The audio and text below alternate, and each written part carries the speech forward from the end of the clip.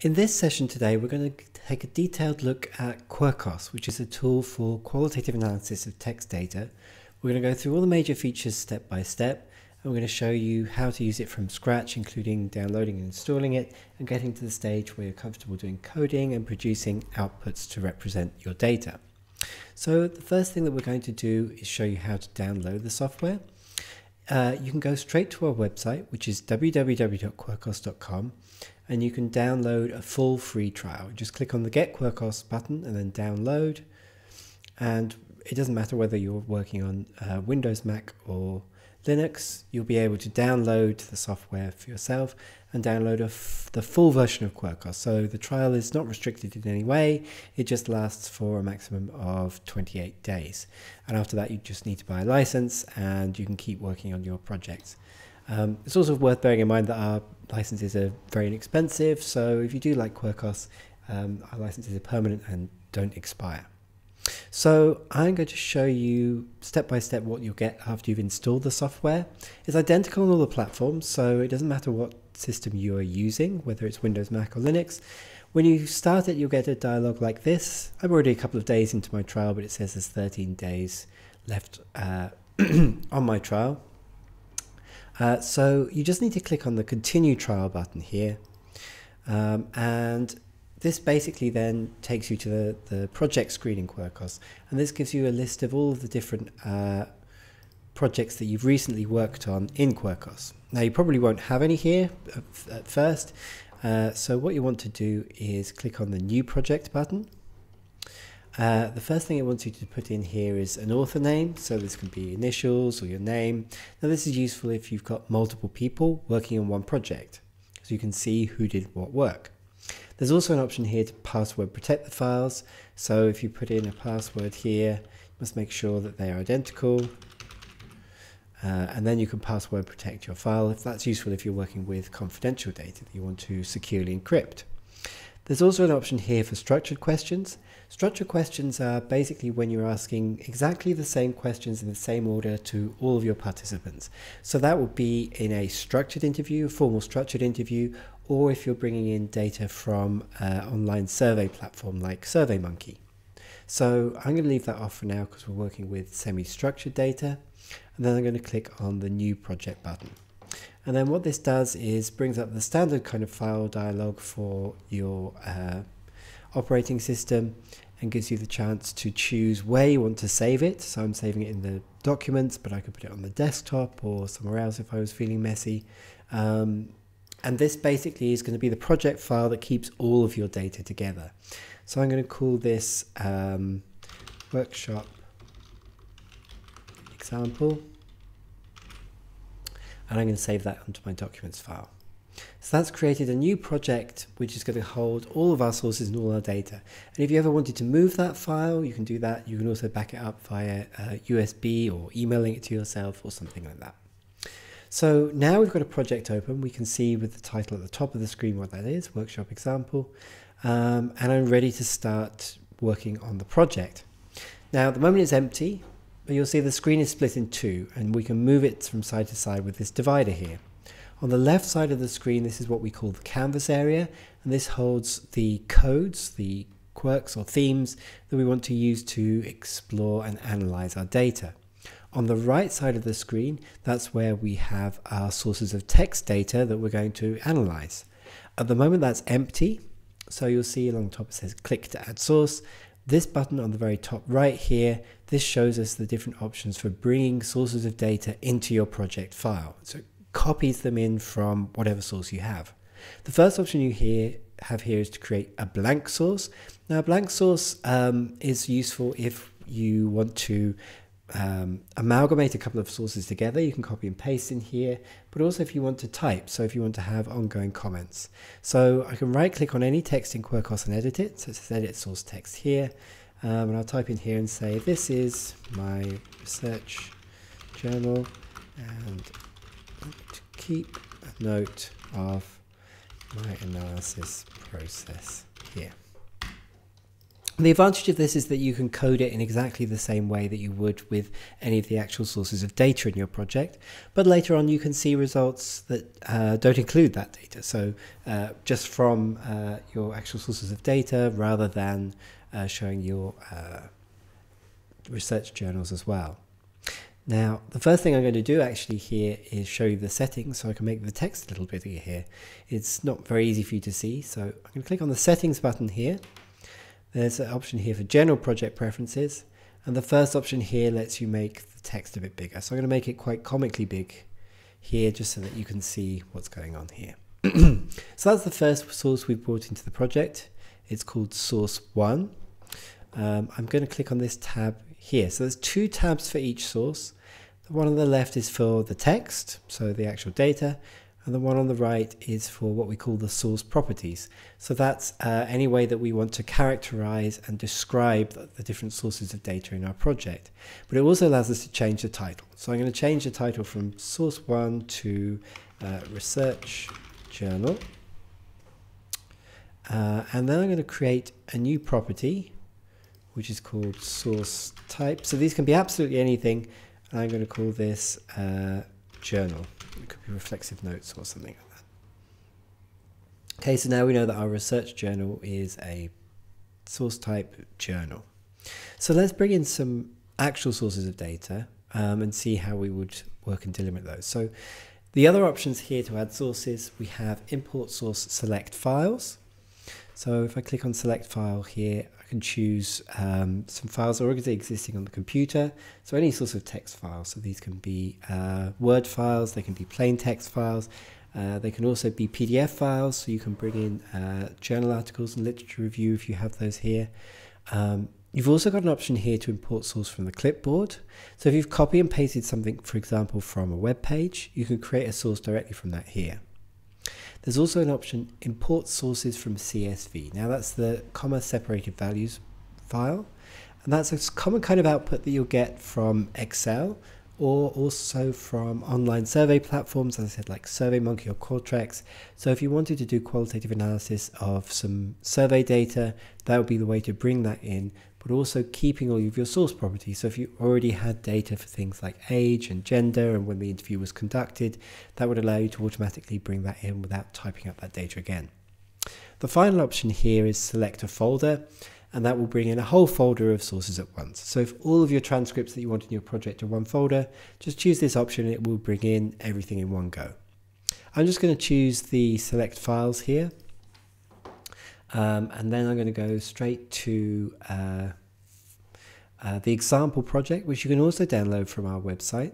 So this example project here, I've got uh, one, two, three, four, five sources here, and I'm going to bring those in by uh, just using the shift key to select multiple ones. But you can bring in them one at a time as well if you like. So I'll click on open and then it will say five sources have been imported. So those are the five I selected click OK. And now you'll see along the top here, we've got these tabs to go through the different sources. And if I click on the text tab here, right, so now I'm seeing Jane's source, Sarah, Mubarak. So these are the different sources that we have in the project. Um, there's actually more than this available. Quirkos only shows the three most recently used sources as tabs along the top. So if we click on this button here, that's our source browser. That shows all of the sources that we have in the project.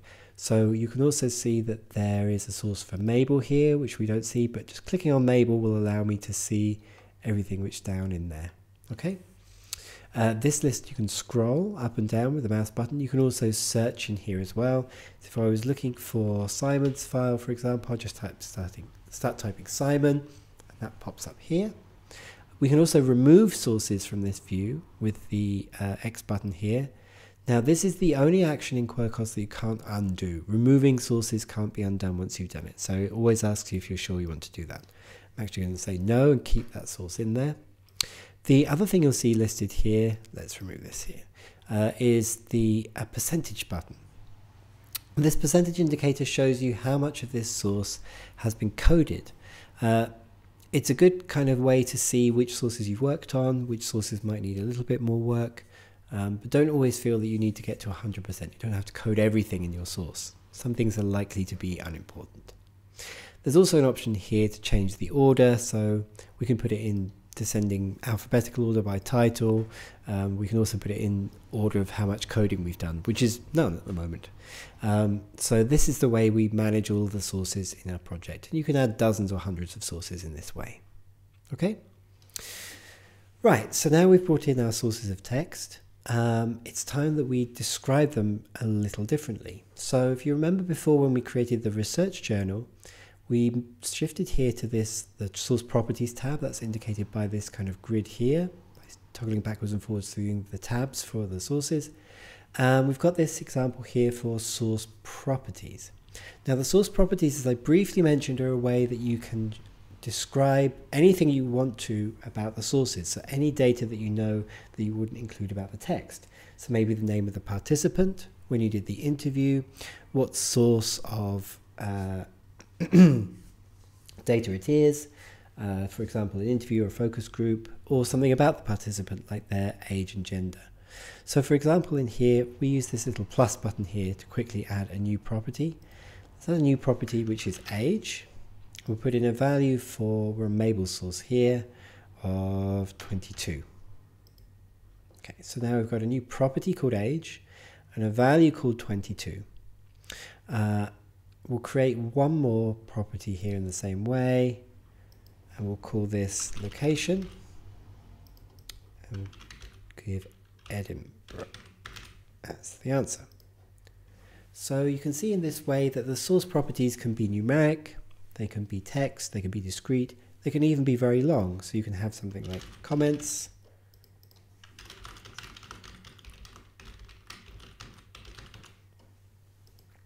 So it's a great way of categorizing and tagging and commenting uh, on all the sources in your project. And you can use these flexibly in any way that you could imagine, basically. So one of the other things that we already did here was create this source type variable.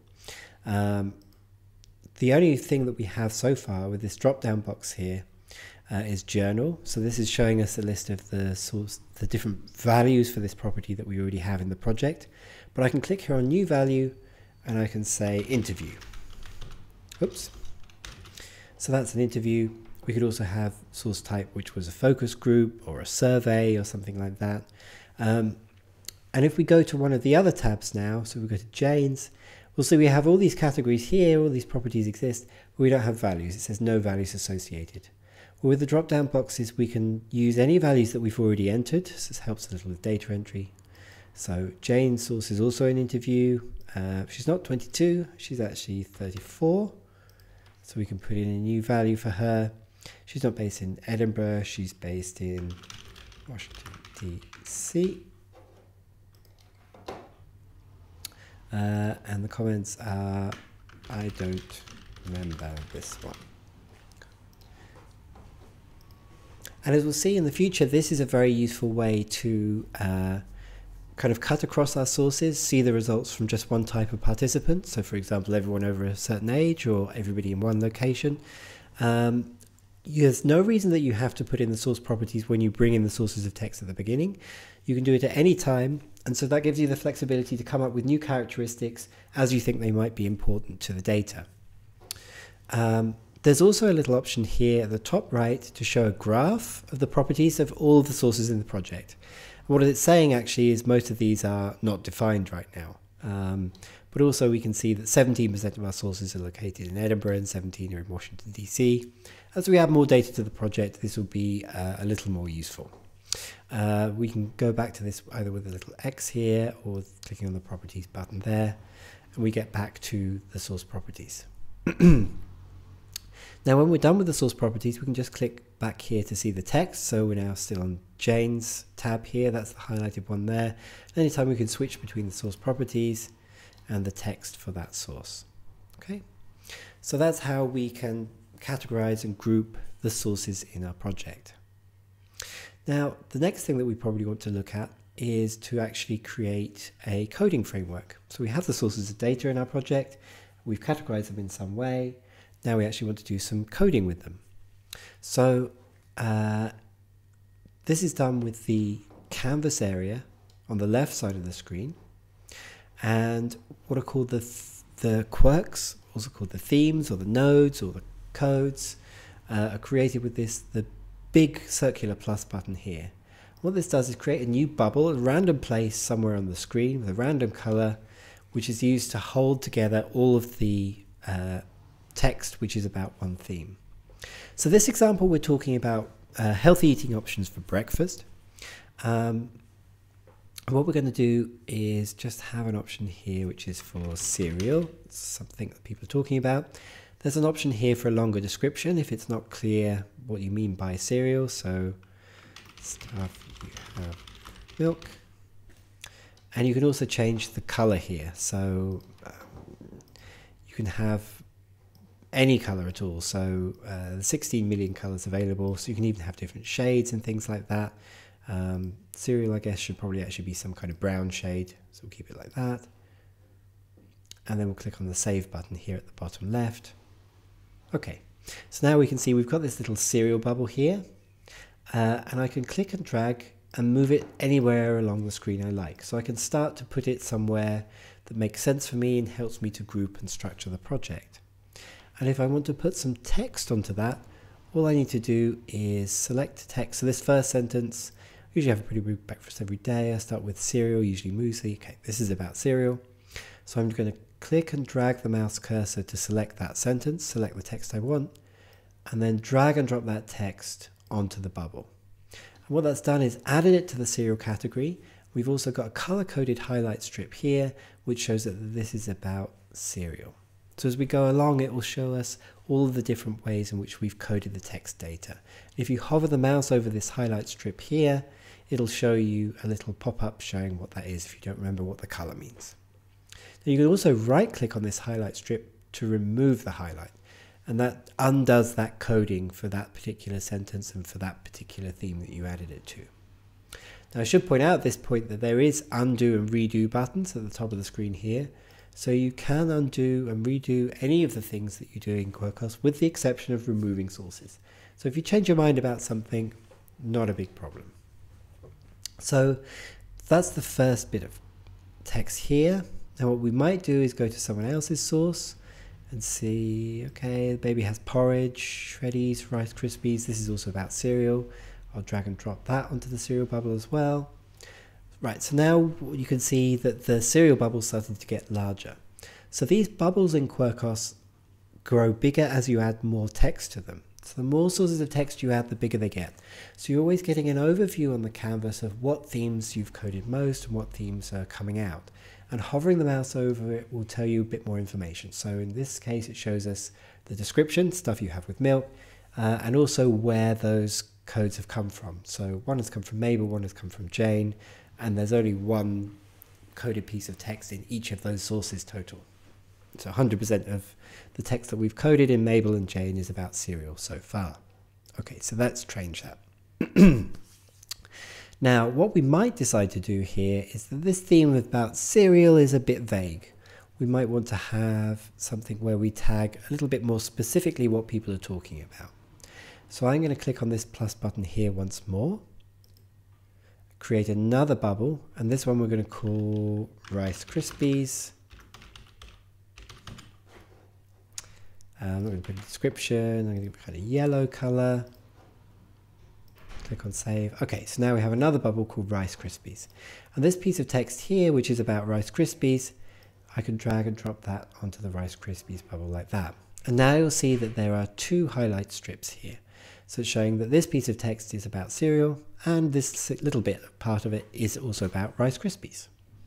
But the other thing I can do is create subcategories, a hierarchy of coding by moving bubbles on top of each other.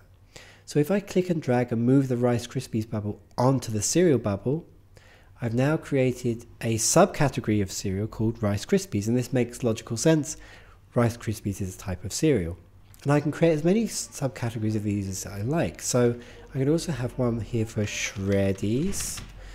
Uh, I'll make that a different color of brown. And I can have another one here for porridge. Not sure if that's technically a type of cereal, but there we go. And I can drag and drop these onto the cereal bubble. And now you can see when you put your mouse over the cereal bubble, you'll see the subcategories that you've coded there. They all pop out. So now I can code this section of text to be about shreddies as well. And this bit of text about porridge. So you just drag onto the parent category and then the subcategories pop out and you drag it, drop it onto the one you want. And now you can see this bit of text is about lots of different things and the color codes show us how we've coded it. So that's the basics of doing the coding and creating the codes and themes in Quirkos. Now you don't have to create subcategories like this, and you can also change your mind at any time. You can pull out a category, so yeah, porridge, not really sure that is cereal, but um, so that's been pulled out there, and you can change your mind at any time. You can also create sub subcategories. So I might have, you know, like a kind of own brand subcategory for Rice Krispies. So if people were talking about particular type of Rice Krispies, we've got a sub sub category there. That's the maximum level of depth that you can have. Any more than that does start to get a bit confusing, so we don't really support that. We don't really recommend that you go that deep with your subcategories. Um, but remember, there's other ways that you can group and cluster things just by keeping things together. And at any time, you can pull out your codes, pull out your subcategories, put out your sub-subcategories, or go back the way you like. So Quirkos gives you lots of tools like this to manage your codes. Okay. So that's a little bit of coding that we've done in this theme. Now, if we wanted to see the results of our coding, all we need to do is double click on the bubble that we're interested in. So let's double click on the cereal bubble. And now we get to see a fully expanded list of the subcategories and the sub-subcategories here as well, but also the text that's associated with them. So this has been coded to be about cereal. This has been coded to be about lots of things. Uh, so if we want to see just the text for Rice Krispies, we click on that. That's just the text across all of the sources, which is about Rice Krispies. Now at the moment, we've only coded things from one source. If we went back home here, takes us back to the main view. Whatever situation you get to, if you click on the home button, take you back to this main view. We can go to Jane's source. We can code some more stuff to be about cereal. Let's put this into the Rice Krispies category. And now if we double click on the cereal bubble, click on Rice Krispies, we can see this text that comes from Jane and also from Mabel here. And if you've coded, so here I've coded the whole sentence, it might not be always clear what the context is. And these little dot dot dot buttons here, wherever you see a quote that's come from one of the sources, they can be used to expand the text around it. So I can see more of the source around it and then I can read the context about it. So that's useful if I did something like, uh, if I just coded one single word, now I look at Shreddies, I can just see the word eggs. Okay, I shouldn't have done that because I have no idea what I'm really talking about here. But I can load more of the source like this. And then I can even code in this view and make sure that the whole of that, that sentence there is, is coded to be about eggs or shreddies as I've done it in this respect. So this view is also very useful when you're going through later and trying to recode because you can code from this view. Click on the home button here. Now, one of the other things that you might want to do at some stage in the future is merge some of these themes. So for example, we've got this theme here for porridge. Earlier on, I didn't even think it was a particularly good idea that we had it as a subcategory of cereal, but I might now also decide that I don't actually want it anymore, but I still want to keep the text that I've coded in here. So I've got, yeah, I have a sentence here which is about porridge. I don't want to lose that. So what I'm going to do is actually merge this into the cereal category. I don't need the detail of having a separate code for porridge, every instance of porridge, but I can put this into the cereal category by right clicking on the bubble. Now this gives me a lot of different views of different things that I can do with each of the different uh, themes, the codes, the quirks on the canvas. Um, and there's this option here, merge. And if I choose mirror, oh, it's going to choose cereal anyway It says which source do you want to, which quirk do you want to merge this into? And I'm going to merge everything that I've coded into porridge into the cereal bubble, just like that. Okay, great. So now cereal, yep, that's got my sentence there about porridge. So that again helps you in the future to manage all of your codes, especially if you've got lots of them. And don't forget, there's always the undo button and redo button if you change your mind. Let's look at some of those other options of the different things that you can do with the codes by right clicking on them. The first option is the overview, and that's what you get when you double click on it. Basically, that gives you the list of all of the different sources, the different uh, quotations that you have from each of the sources. The other thing I have here, I can right click and click on the overlap view. That will show me how often one code interacts with one of the others. Won't show us very much at the moment, we'll come back to that in a minute. There's also the edit view. That basically gives me the same options that I got when I created it, so I can change the title, I can change the description, I can change the color here as well. And that will update across the whole project. There's also the merge view, which we looked at before, also duplicate view. Uh, so if you wanted to uh, basically change a little bit, so remove some of the things from uh, the porridge theme, basically to split that out. So imagine you wanted porridge and whole wheat porridge. So that way you could duplicate everything that you coded about porridge uh, remove everything in one theme that's about uh, whole grain porridge, and that way you'd have two separate themes which are slightly different but based on each other. And the last option here is delete to actually remove one of the themes from the project. Okay. So that's the basics of working with these codes. I'm now going to show you one other way that you can group these themes together. Um, and that's with the groups function. Now, here we've created a hierarchical view like this, uh, where there are sub subcategories. But what if we had things that wanted to belong to more than one category? So for example, if we had something here like juice, and we had something here like orange, that had better be orange, hadn't it? And uh, apple, green. Okay, so with these themes here, we might have something, we might be talking about, let's have subcategories of juice, which are orange and apple. But this could be a little confusing because actually juice is something that we can eat as well. Well, juice we can't eat. Juice is something we only drink. But we can eat an apple and we can eat an orange. But the groups allow us to create non-hierarchical groups and clusters of themes. So if I click on group, the new and change group, we've got the option here to add a new one. So we'll add one called things to eat. Click on new group and then another one called things to drink. Okay, so now we've got these two groups which are kind of invisible to us at this stage. But what we can do is right click on any of the bubbles and assign them to one of the groups or more than one of the groups. So for example, if we right click on juice and then choose edit, now you'll see in the groups dialog here, we've got these different options for the groups that we can eat. So first of all, we've got uh, juice is not something we can eat, but it is something to drink. So let's add it to the things to drink group. Click save.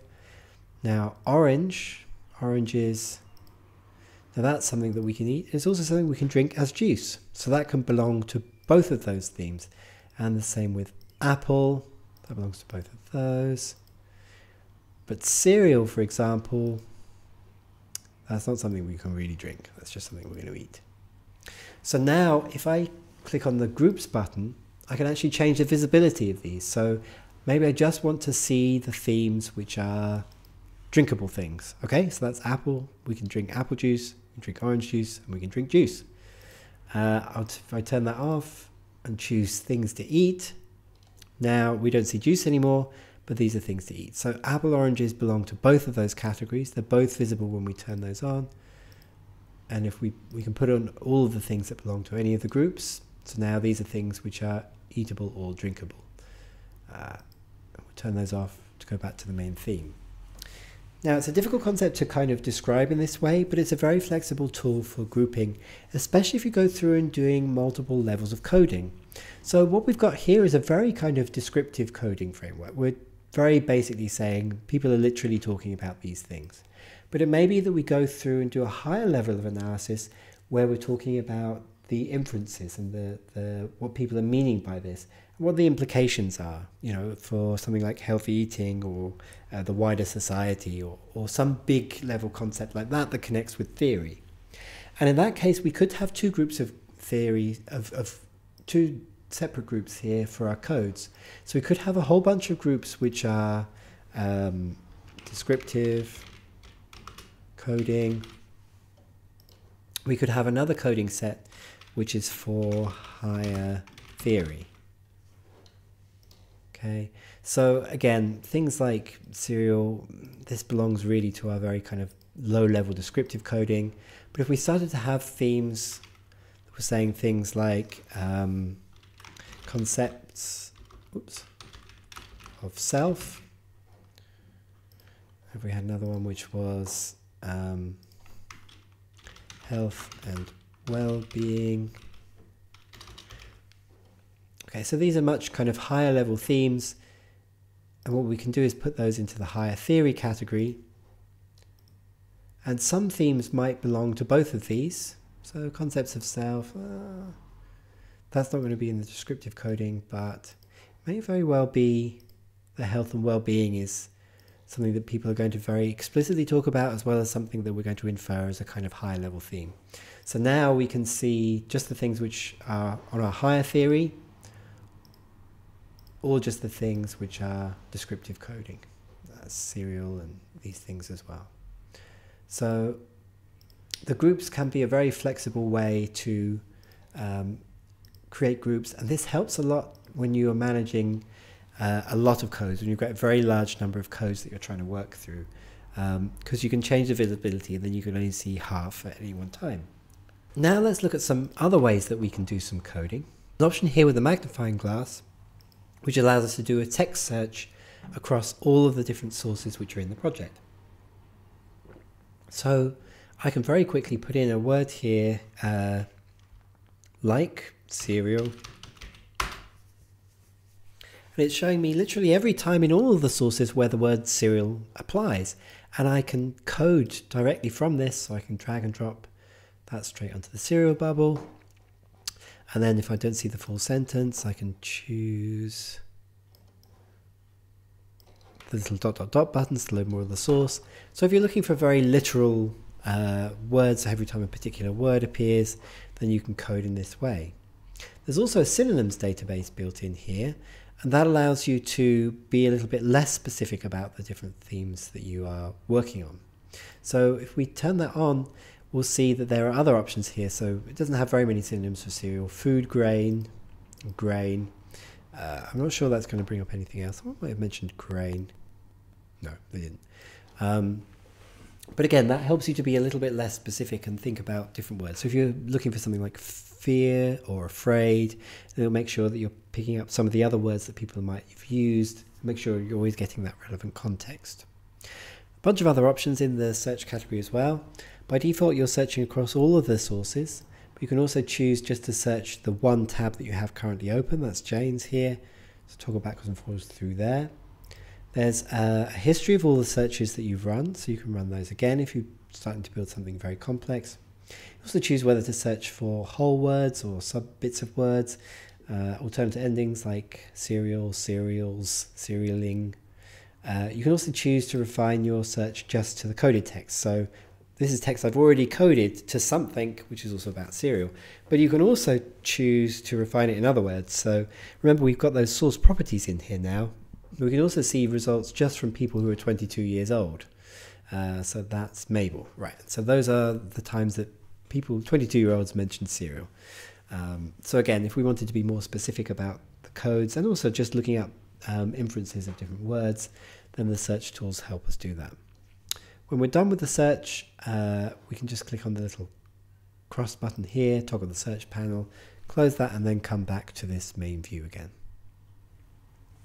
Now, there's one other way that I'm going to show you that we can do some uh, analysis of the text as we go and read through it, and that's with the memos feature. Now you'll see there's a little uh, M cloud bubble here, and that's for the memos panel. And opening that gives us another kind of column along the side here. And what we can do is drag, drag and drop a bit of text in the same way as we put it onto one of the codes, but onto the memo column. And adding to the memo column allows us to write a little kind of uh, a little note that's attached to a particular section of text. So in here we can type, this is about her husband. Um, and then, so that's a bit of clarification for us, or we could say, uh, you know, this is very interesting. Time to make their own bread. So you can go through and you can have as many comments as you like. And whenever you hover your mouse over, it will show you exactly which section of text that's associated with. You can edit and change this anytime. Um, and this is another way to write kind of reflexive writing, so reflexive text, uh, which is your kind of interpretations and comments. You can also use this for um, uh, using and to, for doing what's called in vivo coding, which is uh, using the participants' own words to categorize what they're saying. So this saying quite hungry. It's a very particular terminology.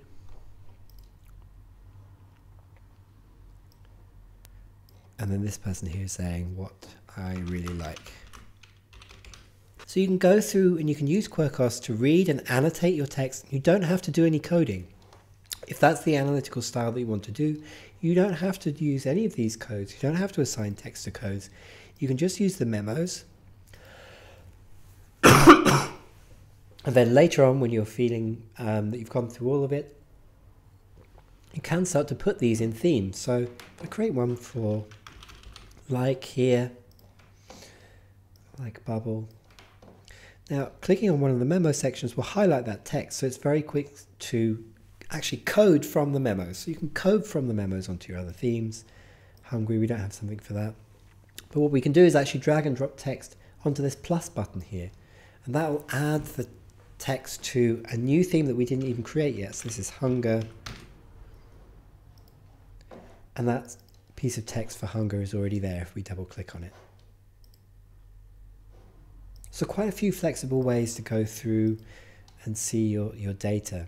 And now anytime that you see um, your text, so if we look at hunger here, you'll see the memos here if you have the memos column open and you can close it like that.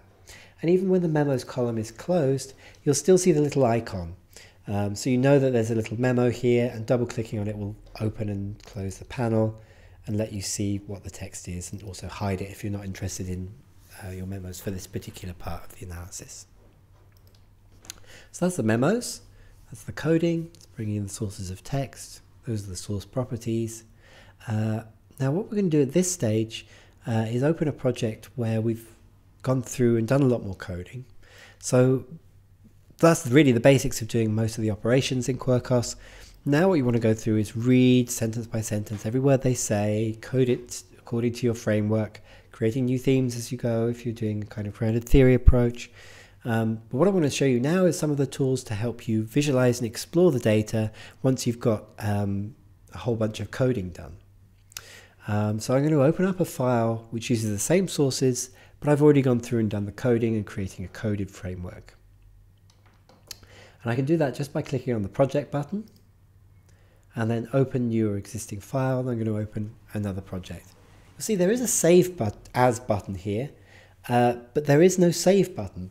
Now, Quirkos is constantly saving as you go through the project. So every time you do an option, every time you add something, you do a piece of coding, it clicks save. So if you close the software, if the computer crashes, the power conks out, doesn't matter. It's saved to the last status you have. So it's very difficult to lose your data in Quirkos, as long as you're backing up that project file in case something catastrophic happens to your computer. But that also means that you can just open another project anytime, come back to it. There it is, workshop example.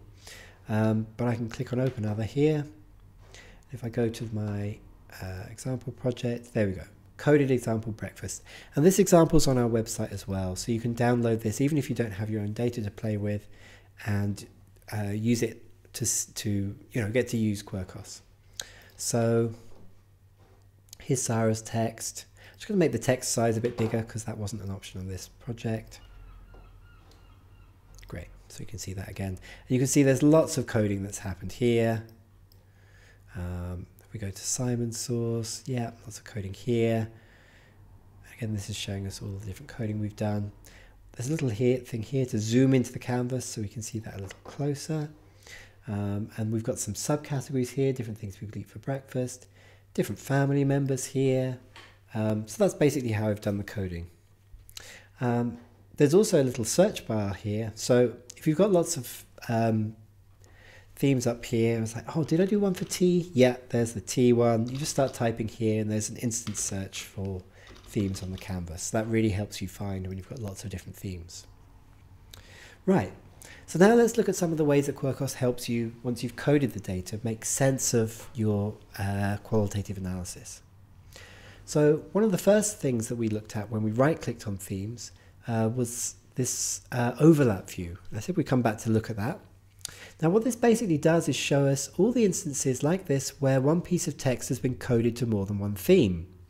And what might be interesting is to see how many times one theme occurs with another one. So if we right click on the dislike theme, for example, and choose edit, sorry, not edit, the overlap view, we get this kind of Venn diagram where dislike is in the center, that's the theme we chose, and the bubbles which are closest to it are those which overlapped most, so the ones where we coded most often with dislike. So we often said that people dislike their children, uh, they dislike juice and they dislike fruit. And the further out we go from the center, so this is two overlaps, this is one overlap, there's zero. These ones on the outside, there were no overlaps. But we can click on any of these themes. So if we click on dislike and fruit, we can see here are the two instances where someone said they didn't like fruit. So this person says, my partner really doesn't like grapefruit. That comes from Jane's source here. Um, and then this person here is saying, uh, that they they do eat a lot of fruit. It's not always the freshest food, so something a bit negative there, which we tagged, and that's why that's that's coming as an overlap there. Uh, and if we click on toast, for example, see, yeah, somebody didn't like this particular brand of toast. But you can also code in this view as well, and you can see how it updates. So this is about toast, but it's also about uh, kind of a healthy bread. So we can drag and drop that onto healthy, and now you see that comes closer. It's coming closer to the center as there's more of an overlap. And these highlights here, overlapping highlights, that's what it's kind of counting across all of the different sources. So click on the home button to go back to the main view, and you'll see that this is working for all of the different um, themes that we have here. So let's see what people liked most by clicking on like and then overlap. Okay, healthy eating options. So people liked the healthy options a lot. People liked toast, two things for toast, two things for fruit. Again, so we can kind of look through the text and maybe we'll be surprised. But now we've got this text, maybe we want to get it out of Quirkos and into something else. Well, there's lots of ways that we can do that as well. So one of the things that we can do is copy and paste text that we have here into another software that we're using to write up. And we can do that from anywhere where we see quotes in Quirkos. So here we've got, this is everything that pe where people said that they liked fruit. Um, and these little tick boxes here allow us to select those themes, select those quotes, or with this button at the top, we can select all of them or none of them. And then there's a copy button here. So we click on the copy selected parts, or copy those two quotes. And then if I bring, this is uh, LibreOffice or Word or whatever, and you paste in here, that's our text that we've copied and pasted from our source. So there's uh, Sarah's quote, there's Jane's quote. So now we can copy and paste everything where people said something positive about fruit. So you can see this is a really quick way to get your um, data out of Quirkos into the section that you're writing about. And also just to tag different bits of text that were interesting. So it's really interesting to see these are all the positive things that people said about fruit. So anywhere where you see quotes in Quirkos, you'll be able to, to you'll see this little tick box here and you can select and copy the, the quotes. So that's a really useful tool. I'm going to click on the home button again. Uh, and now what I'm going to do is uh, run a query. So if you remember previously we created some source properties. Uh, in this example project we have gender, we have age again, we've got uh, city, kind of like location again. But we can use these properties to filter our results and just see results from particular sources or particular groups of sources. So that's done with the query view. So if I click on the query button here, the query view lets us basically run um, a search for matching quotes, um, anything which we have in the project database. So the properties is one of those things, the source properties is one of the things, but we can also look for work done by particular people or work we did on a particular day, so maybe at the start or end of your project. You can search for results by group or source title if you wanted to see results just from one particular person even, or a couple of people. But I'm going to keep property here. Uh, I'm going to change this from gender to city. We've got city equals Belfast. And then there's an update button here, and if we click that, there we go. That updates that, the results. And now we can see these are the results of, it looks like it's just Simon that lives in Belfast, but it's everybody that lives in Belfast. Uh, it's sorted in descending order, so diet was the thing that people in Belfast were talking about most. So maybe that's interesting in itself. Well, we can select all of those quotes, we can copy them, and then we can paste them as everything that people in Belfast said about diet. But we can also split the screen in half and do a comparison. So if I click on the compare button here, this splits the screen in two. So we've got one quote query being run on the left here, that's our city equals Belfast. We can put another one in here, so let's do city equals, what else do we have in here? Edinburgh, great. We'll click on update. And now side by side, we can see the differences between the projects. So Jane so Jane lives in Edinburgh. Does anyone else live in Edinburgh? Yeah, Sarah. So Sarah and Jane both live in Edinburgh. We can click on these bubbles to see how much the people from Edinburgh are talking about particular things. What's interesting straight away is in Edinburgh, people eat a lot more toast than they do in Belfast, according to this. Or at least we've coded more sections of text from our Belfast participants than we have, for, sorry, from our Edinburgh participants than we have from our Belfast participants. Again, maybe this is something that's interesting. So Quirkos is always trying you not to rely on the numbers, but getting you to read back and read the qualitative text and see if this is a worthy trend or whether it's just some kind of coincidence in the way that we've been coding. Now we can also add, make these um, queries more and more complicated as well. So for example, here we've got people who lived in Edinburgh. We can add an extra row to the query and we can see maybe we just want people in Edinburgh who were, you know, over or under the age of 22. we update that. Do we have anyone there? No. Okay. So maybe that way. Yeah, I think it's the same people. But the idea is that you can add more and more people, um, more and more categories to your searches. And if you want to see people who are just the men from Edinburgh who are over 22, then you can do that. And you can also use this side by side comparison to compare your different groups of people together. And the update button here will give you, um, will rerun the query, so to update whatever you've changed here. Uh, the single button will toggle back to the single view.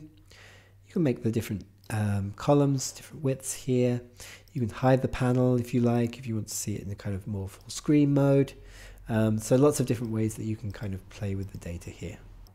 So now we'll go back to the main view, zoom in, and we'll look at some of the ways that we can export the data um, and do reports from our data. So we click on the export button. There's a whole bunch of options here. Let's look at the first one, which is to create a report. Now, the report's a pretty boring, pretty comprehensive standard thing, which basically gives us all the information that we have about everything that's in the project, basically. Um, so you'll see here that the screen is split in half. And on the left side of the screen, we've got a preview of what the report will look like. And on the right, the options of different headings that we can have. So there's a sources summary here, which tells us all the different sources that we brought into the project. We don't need to see that, we can untick that section. Uh, you can also scroll down and you can see there's graphs here of our source properties. There's the views. Now any of the images in the report you can drag or right click and save the image if you want to put it into PowerPoint or into your uh, report that you're writing up. So any of the visualizations you can have in that way. And there's also a bunch of ways that you can customize the visualizations as well. Keep scrolling down, you'll see the properties here. So um, here's the actual text. There we go. So that's everything people said about healthy, everything people said about cereal and like and dislike. Um, and you can also include the properties in here. So here, so there now I've got for every quote, who said it, how old they were, where they lived, their gender. We can also change change it so it's text by source rather than text by theme. So that's everything that, yeah, that's everything Mubarak said and everything Simon said. So there's a whole bunch of different options here. And when you've got the report showing the information you want and formatted in the way you want, you can either print it out directly, you can open it in a web browser to play with it a bit more, you can save it as a Word file, you can save it as a web page, or you can save it as a PDF file. So let's quickly create a PDF of our report.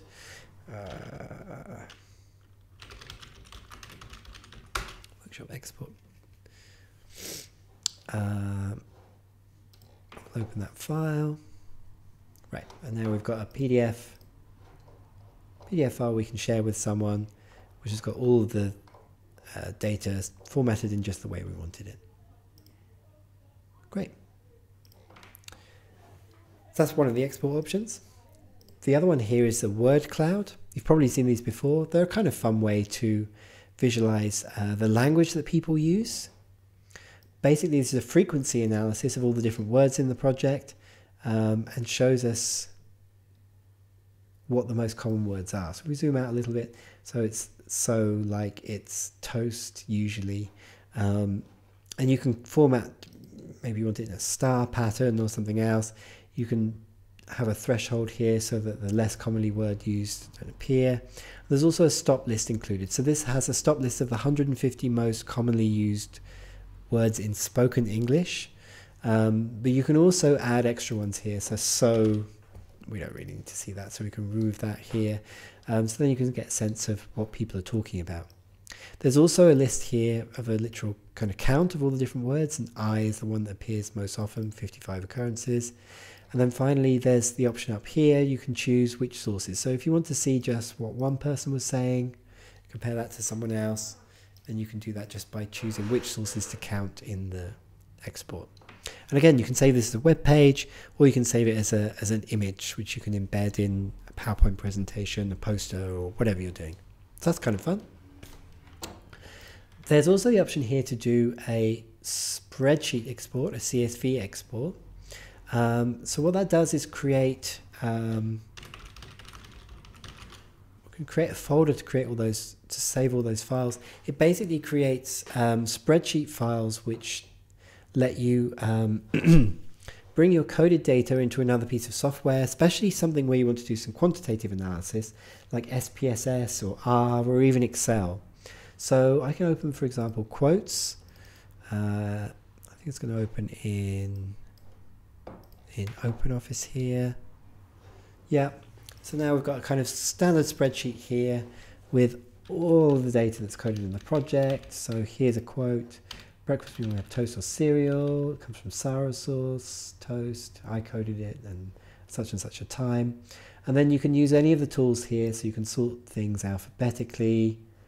Um, you can do um, you can use the pivot tables and the content analysis. Um, you can do a lot more statistical methods, inter-rater reliability, and things like that if you've got multiple coders. So um, it basically gives you a lot of different ways that you can play with the data outside of Quirkos. So that's pretty useful if you're looking for something a little bit more quant. There's also um, the ability to export all of your um, imported code, uh, coded transcripts with your coding as a standard Word file. So you can create either a one word document for each of the sources you imported, so basically getting them back out again, or you can create one long word document with all your transcripts in it. And the neat thing about this is that you can share it with someone who just has Word or uh, LibreOffice or Google Docs, anything that will open a standard Word file. Um, and that will basically give you a, uh, show you as, as a kind of with the color coded highlights, just as if you you done this on paper with highlighters, or if you you coded it in Word using the the comments theme here. So again, this is really nice to print out, especially if you've got a color printer. Read it away from the software, But the other thing that you can do with this is, is share it with your supervisor or someone else that um, you want to show kind of how, how you're going and you're thinking at this time. And they can not only see the transcript, but exactly how you've been coding it, even without using any special software. So that's a pretty unique thing. There's also the option here to export as QDPX files. And this is the, the REFI QDA standard. And this is basically by the end of the year will be supported by all qualitative software packages. And it means that you can import and export your coded data from any software package to another. So if you've done some work in uh, NVivo and you want to bring it into Quirkos or vice versa, you can do that with the QDPX project file. Uh, you can also save just the sources from your project or just the structure, just the coding framework without the sources. And this option, what that does is let you uh, reuse the structure. So if you had a standard coding framework, so for example, a standard evaluation template that you wanted to use on another project, you can delete all of your coding and delete all of the sources and save just the just the coding framework to use again. And vice versa, if you use export just the sources of the project, that will show you just the um, sources, removing the coding framework, and then maybe you'll have someone else uh, redo the coding in a different way, or if you just want to start from scratch and try a completely new coding framework again, but don't want to have to put in all the sources and source properties again. So that's a whole bunch of different ways that you can get the data out of Quirkos when you've done the coding. Now there's just one final thing which I'm going to show you here, um, and that's basically how you can use Quirkos to kind of uh, look at your coding framework in a slightly different way. So we've got this ability here to move the bubbles around. Um, you may probably get to the stage where you've got quite a lot of themes, especially if you've got a lot of clustered themes, and it's going to be a bit difficult to see what's going on there. Well, with the view button here, you've got a whole bunch of different options about how you can display the codes, the quirks in Quirkos.